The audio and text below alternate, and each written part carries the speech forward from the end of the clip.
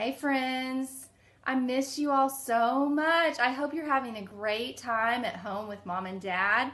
I want to read you a story. This is a great one called I Can Do Anything. I Can Do Anything. This is Tina. Tina is very tiny. She's downright itsy bitsy. If you blink, you might miss her. But God is very untiny.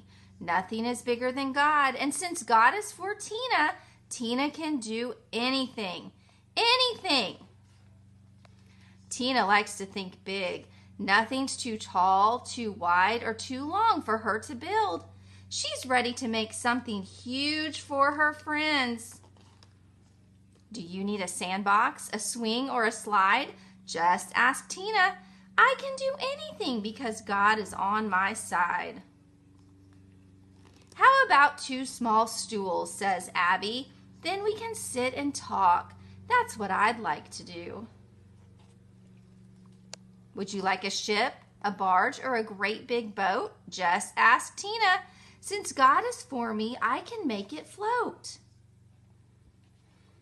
I'd be happy if you could make a little raft, says Bubba. Then we can drift along side by side. How'd you like a jumbo jet or a blimp as large as the sky? Just ask Tina. Since God is for me, there's nothing I can't try. You know what I'd love, says Skylar? A paper airplane we can toss back and forth. Would you like a three ring circus or a thousand critter zoo? Just ask Tina. Since God is for me, there's nothing I can't do. Just a simple bench would do, says Decker. Then we can sit and watch the sunset together.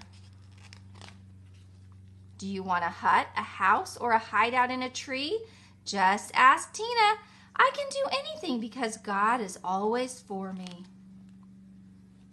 We'd love to have a picnic, say Tina's friends. Let's just hang out and chat about life's little things. Nobody wants me to make them something huge, but I can do anything, Tina says. Anything.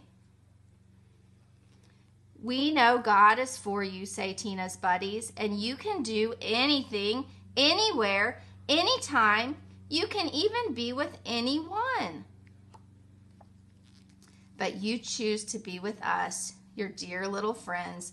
Sometimes the little things are the biggest things of all. I hope you loved that book. I miss you all so much. Reach your arms out and give me a big hug, and I will see you soon.